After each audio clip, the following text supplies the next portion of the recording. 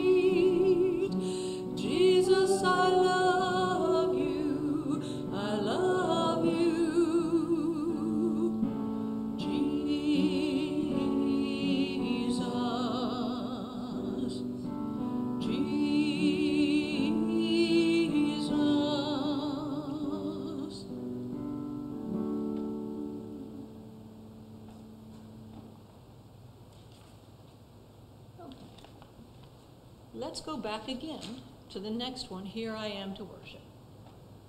And keep everything close tonight.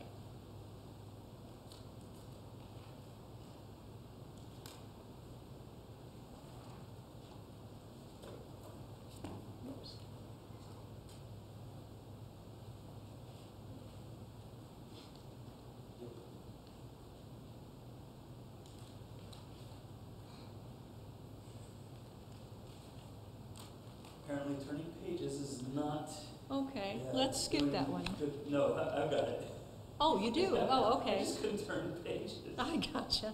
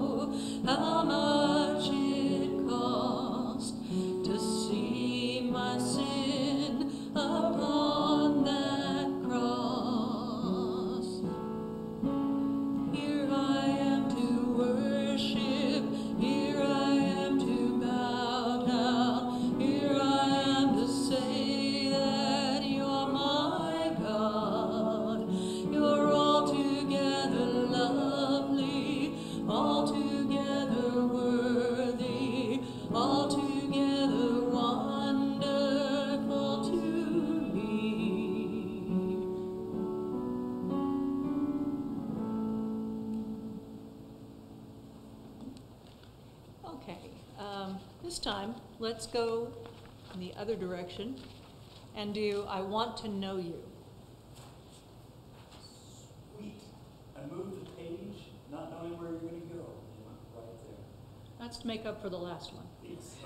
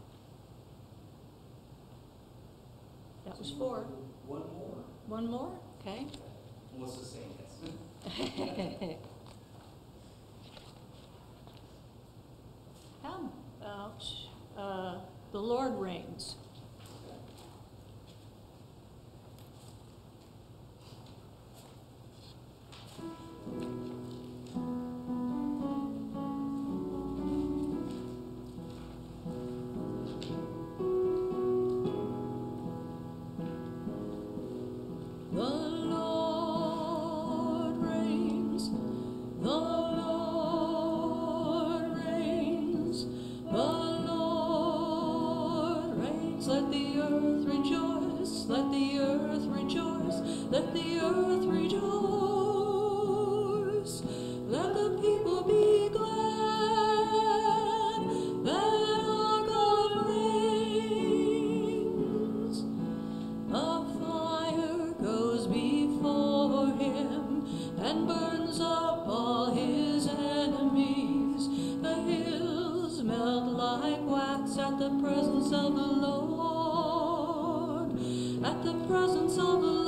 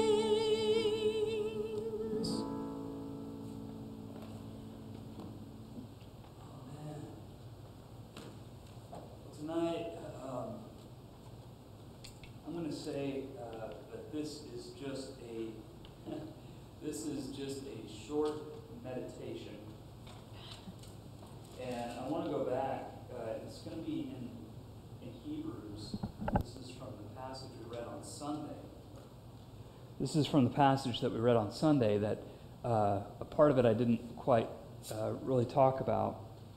In chapter 11, verse 1, it says, Now faith is the assurance of things hoped for, the conviction of things not seen. For by it the people of old received their commendation. By faith we understand that the universe was created by the Word of God, so that what is seen was not made out of things that are visible.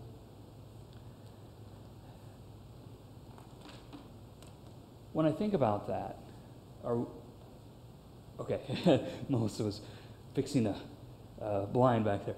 Um, when we, when I think about that, um, I can't help but think about the battle that we've had in the church with um, with science from like from ages and ages.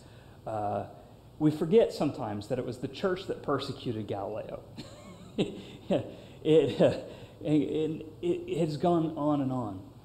In the Wisdom of Solomon, which is one of the apocryphal books, Solomon talks about this battle between, between the learned and the church. And what he does is it's really incredible because he says, look, they have all this knowledge, they see all of these things, but they miss the point. And they miss the point at the very beginning. He says the reason they miss it is because they think that the world is inevitable. They think that destruction is just going to happen and it's all chaos. I think that's really interesting that this is written.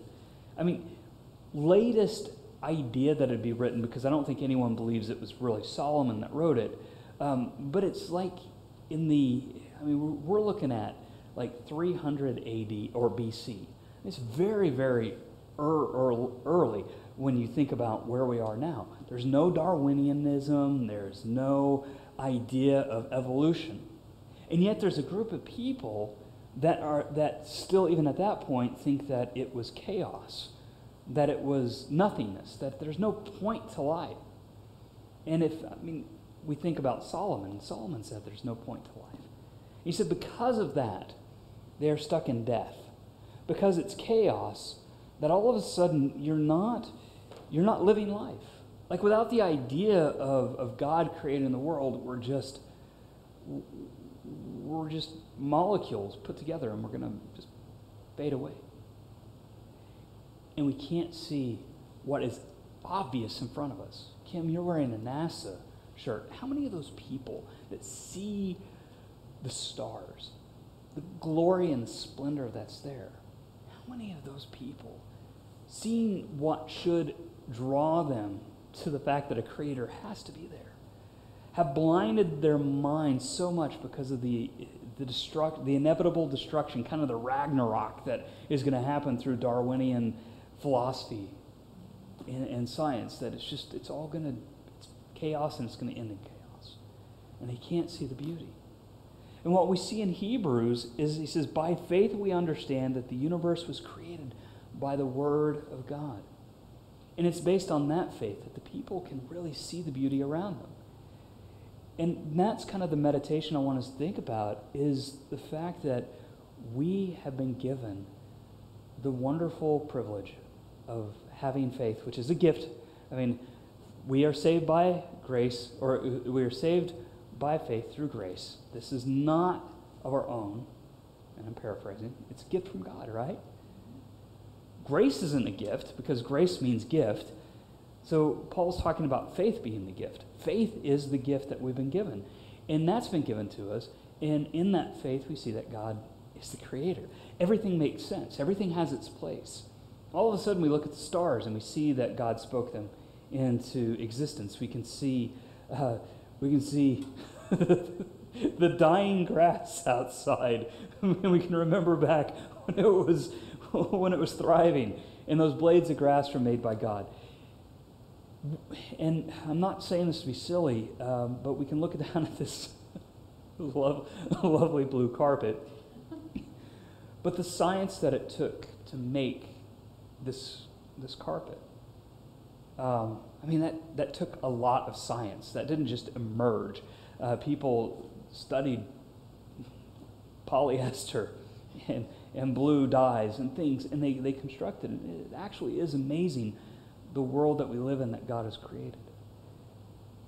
And with the understanding that God is in control, that He has created this, then all of a sudden, what is chaos at some level is not chaos that's out of control. It's chaos that is in God's hands. It doesn't matter if it's chaos in the universe as the planets spin around, these balls of gla- gas blaze. It doesn't matter if it's chaos in our own personal lives when we're going through times of change or um, of trouble. God's in control. And that to me is just amazing.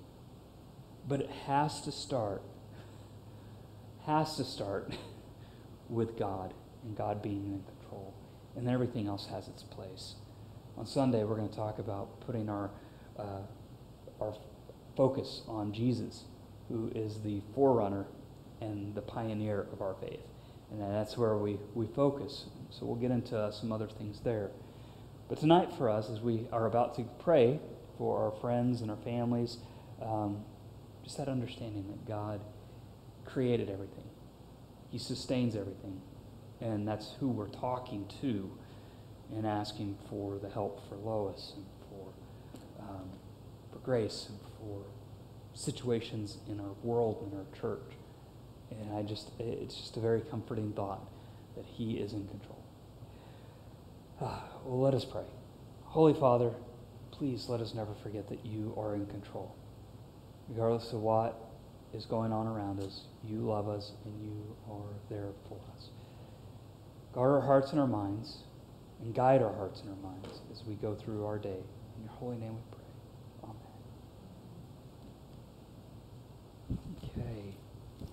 Amen. And because I cannot. We can skip that one, Melissa. Um, let us confess our, or let's let us make our confession to God to begin our service. Most merciful God, we confess that we have sinned against you in thought, word, and deed, by what we have done and by what we have left we have not loved you with our whole heart. We have not loved our neighbors as ourselves. We are truly sorry and we humbly repent. For the sake of your Son, Jesus Christ, have mercy on us and forgive us, that we may delight in your will and walk in your ways to the glory of your name. Amen. The Almighty and merciful Lord grant you absolution and remission of all your sins, true repentance, amendment of life, and the grace and consolation of his Holy Spirit. Amen. Now we will just go through our prayers as we as we usually do. Um, we'll pray together the call to prayer, and then we will go to our next section with a, a pause after. O Lord, we entreat you mercifully to hear us, and grant that we, to whom you have given the desire to pray, may by your mighty aid be defended and comforted in all our adversities through Jesus Christ our Lord, who lives and reigns with you in the Holy Spirit, one God, forever and ever. Amen. Gracious Father, we pray for your holy Catholic Church. Fill it with all truth, in all truth with all peace. Where it is corrupt, purify it. Where it is in error, direct it. Where in anything it is amiss, reform it. Where it is right, strengthen it. Where it is in want, provide for it. Where it is divided, unite it for the sake of Jesus Christ, your Son, our Savior. Amen.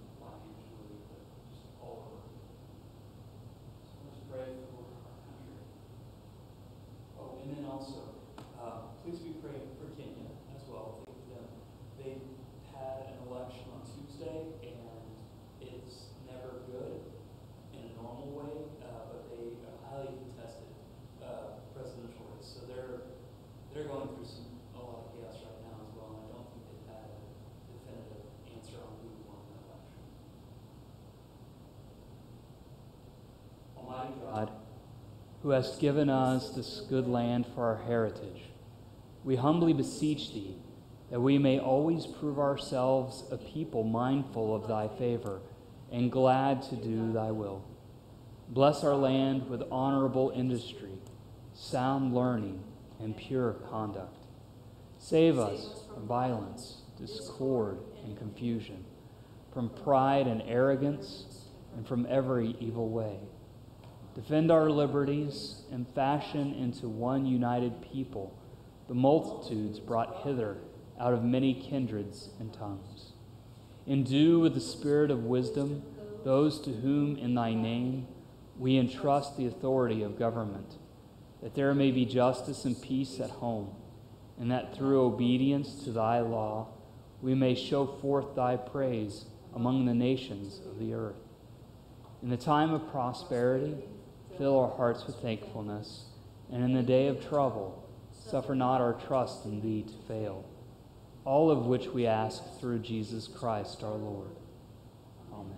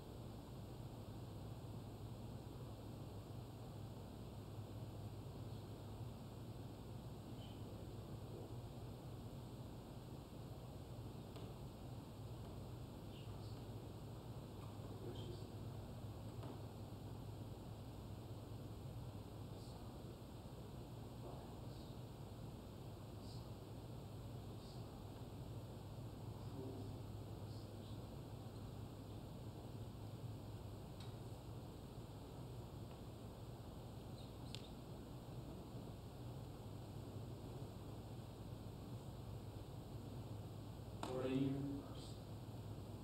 Hear our prayer. Now we have the great honor of being able to pray for those that we know that need Christ. So let us pray, trusting that it is God who calls them, and not our works, and not our words, but His Spirit.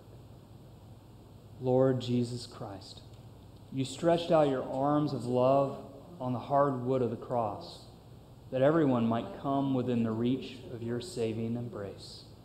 So clothe us in your Spirit, that we, reaching forth our hands in love, may bring those who do not know you to the knowledge and love of you, for the honor of your name. Amen.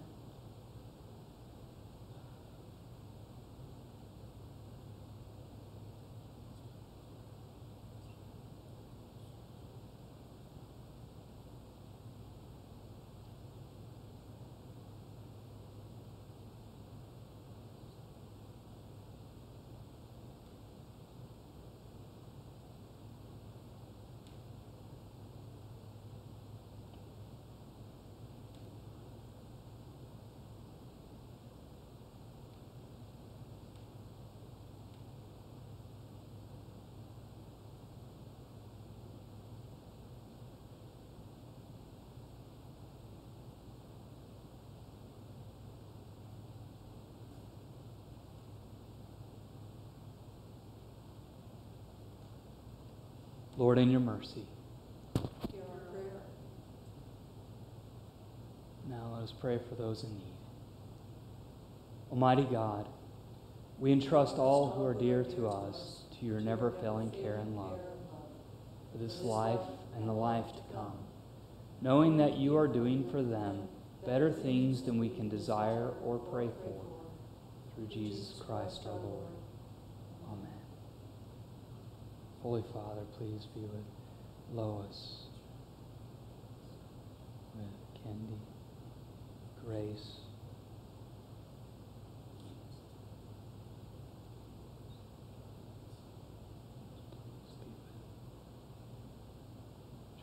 as travels and goes home. Be with his teachers and students tomorrow.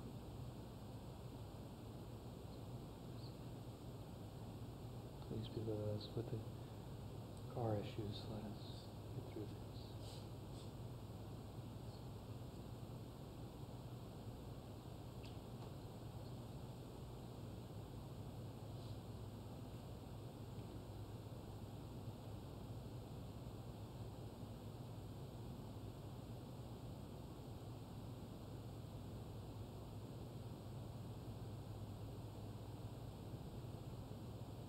Lord, in your mercy.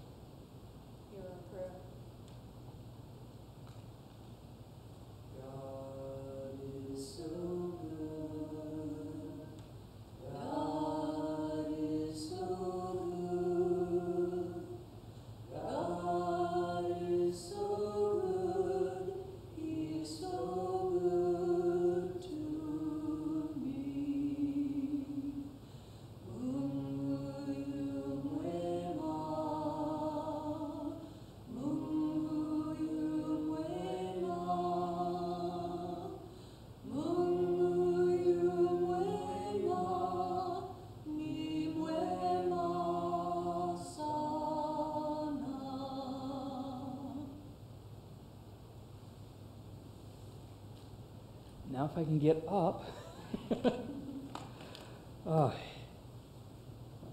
we praised God in song, and we've lifted up our requests, and now it's time to have communion. I gotta tell you, I love Wednesdays, and it doesn't matter if there's only two people here. It is such a wonderful, wonderful evening. The peace of the Lord be always with you. And with your spirit. With your spirit. Greet each other in the name of Christ. Hope we've got some time. Peace. No, shake my hand with that on there. Peace.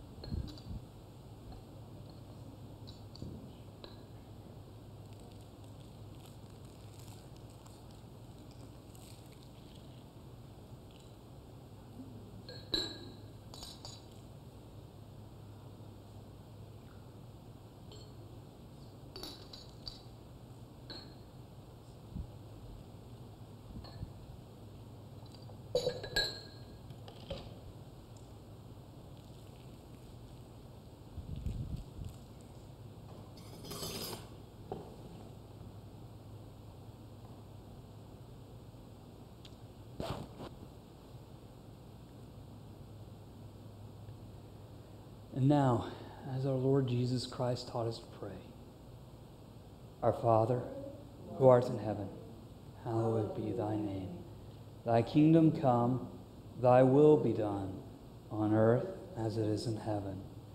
Give us this day our daily bread, and forgive us our trespasses, as we forgive those who trespass against us. And lead us not into temptation, but deliver us from evil. For thine is the kingdom, and the power, and the glory, forever and ever. Amen. The gifts of God for the people of God.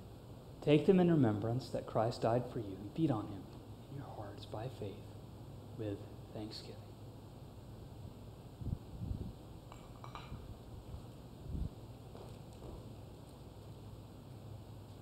The body and blood of our Lord Jesus Christ keep you in everlasting life. The body and blood of our Lord Jesus Christ keep you in everlasting life. The body and blood of our Lord Jesus Christ keep you in everlasting life.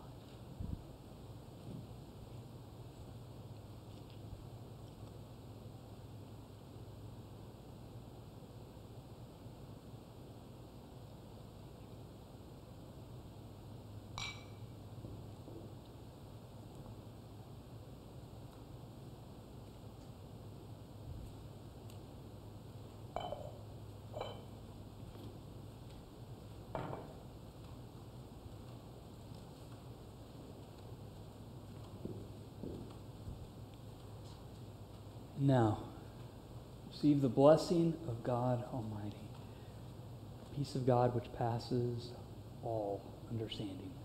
Guard your hearts and your minds in the knowledge and love of God and of His Son, Jesus Christ our Lord.